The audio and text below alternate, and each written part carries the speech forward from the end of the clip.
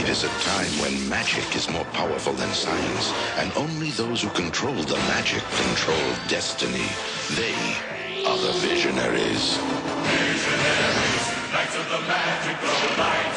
Visionaries, with magical powers they fight. Powers of blindness, strength, skill, and speed. Powers to accomplish.